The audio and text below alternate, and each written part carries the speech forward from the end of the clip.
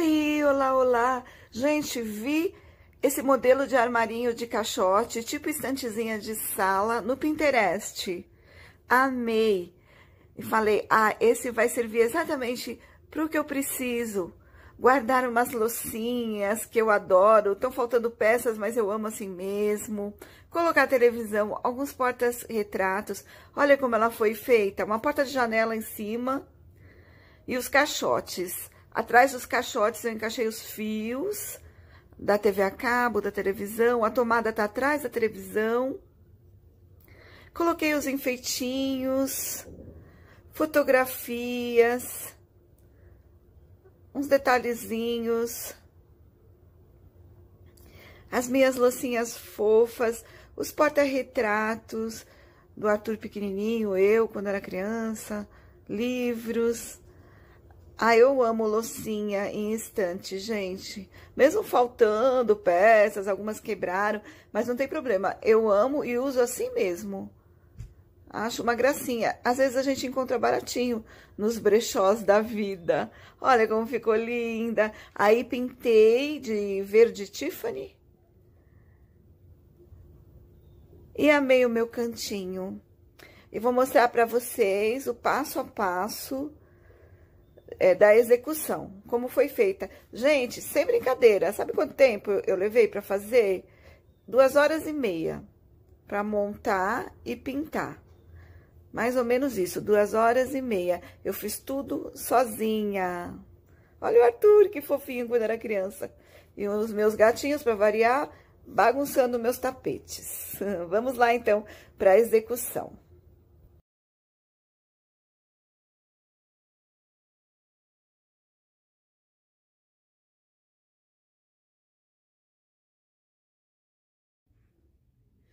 Olha aí, gente. São seis caixotes. Três em pé, um em pé, dois deitado. Aí, eu amarrei primeiro e depois eu comecei a pregar os preguinhos. Os preguinhos, eu não sei pregar muito bem. O ideal é que um profissional faça, porque o caixote tem umas partes que são bem duros e o prego quebra, entendeu? Então é meio difícil.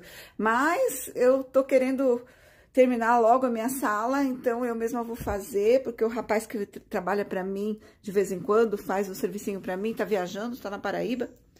Aí eu vou pegar essa janela e vou usar de tampão aqui, já mostro para vocês. Olha, o tampão vai ser essa janela velha. Tudo isso eu vi no Pinterest.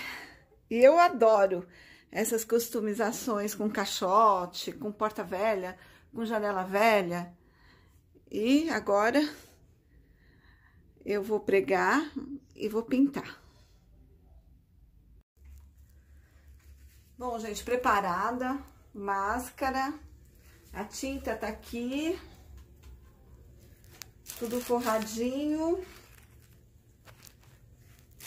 Vou pôr a tinta aqui. E eu vou começar a pintar com a minha luva rasgada. Bom, gente, esse foi o vídeo. Vou mostrar agora algumas fotos para vocês. Lembrando que tudo foi feito com material reciclado. Então, dá sim para dar um jeito na nossa casa, deixar bem bonitinha, gastando quase nada.